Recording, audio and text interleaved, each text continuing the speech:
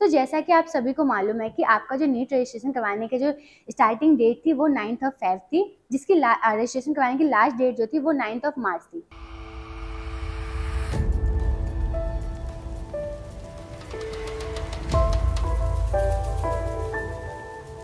Hello everyone and welcome to our channel I am Vanna and today we have a very important update for all NEET UG aspirants तो जैसा कि आप सभी को मालूम है कि आपका जो नीट रजिस्ट्रेशन करवाने के जो स्टार्टिंग डेट थी, वो नाइन्थ ऑफ़ फेब थी, जिसकी रजिस्ट्रेशन करवाने की लास्ट डेट जो थी, वो नाइन्थ ऑफ़ मार्च थी, जिससे कई सारे बच्चे जो है, उनकी क्वेरी आ रही थी कि वो जो है, अपना रजिस्ट्रेशन करवा नहीं पाया तो जो डेट है, वो आगे बढ़ा दी जाए। सो एन ने जो है, आपके नीट रजिस्ट्रेशन के जो डेट है, वो आगे बढ़ा करके सिक्सटीन ऑफ़ मार्च कर दिया था। बट उसके बावजूद भी स्टूडेंट्स की बहुत सारी क्वेरी आ रही थी कि वो जो अपना रजिस्ट्रेशन है, वो करवा नहीं पाए हैं। सो विंडो जो है रजिस्ट्रेशन विंडो वो दोबारा से रीओपन कर दिया जाए।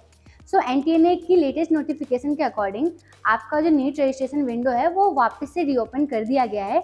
Ninth of April to tenth of April जो है, आपका रजिस्ट्रेशन करवाने के लास्ट डेट है। तो जो भी बच्चे अपना नीट यूजी का रजिस्ट्रेशन नहीं करवा पाए थे फरवरी और मार्च में, वो बच्चे जो है, उनके पास एक और मौका है, वो जो है ninth of April to tenth of April के बीच में अपना नीट रजिस्ट्रेशन का जो रजिस्ट्रेशन जो है, वो करवा सकते हैं एंड अब वो जो है, अपना नीट का एग्ज़ाम ट्वेंटी ट्वेंटी फोर में दे सकते हैं। Thank you